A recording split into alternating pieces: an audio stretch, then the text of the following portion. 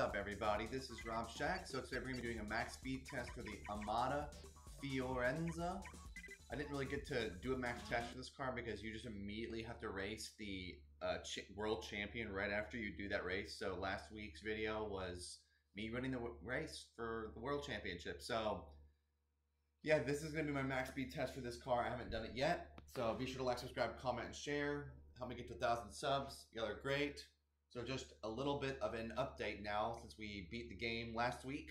What I'm going to do is max speed test with this car this week. I'm going to do the Zender next week. And then the police cars, because I unlocked those. I hadn't done the max speed test for those yet. And then after that, I'm going to do all the cool secret bonus races in this game. And we're going to unlock all those cars as well and I'll compare those two. I also have a plan to do the head-to-head -head series for the London cars, kind of give a little bit of information if you're ever replaying this game, which cars are the best, in my opinion, um, you know, of the first, the second, and the third of the, you know, the PT Standard, or the PT Phoenix, the Ascent, and the Modicum. I want to kind of do a comparison of those three now that I've driven all three of the types of cars and all three of their, like, level ups now that I've done all that, I can actually kind of, I feel like I have enough information now that's recent in my mind to be able to be like, okay, yeah, this car is the best here, this car is the best here, and this one's the best here, and take a pick. Um, well, this car bounces all over the place. We have already damaged it, totaled it, so that was really quick.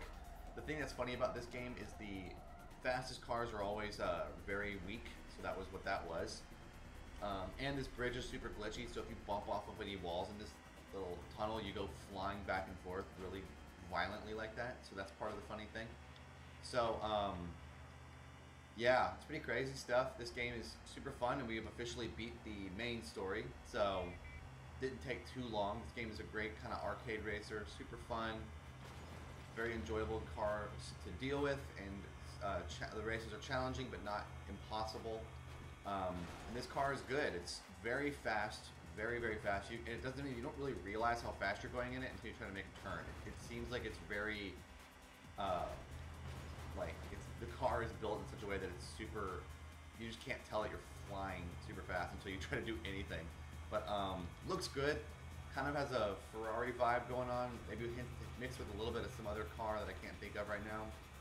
Maybe like a little bit like a Bugatti, but this game was out came out before the Bugatti, so it's not that. But like, it kind of has a, an interesting look to it. Very quick, sounds really good. Uh, no NOS, but that's okay. Didn't really need it it's really fast.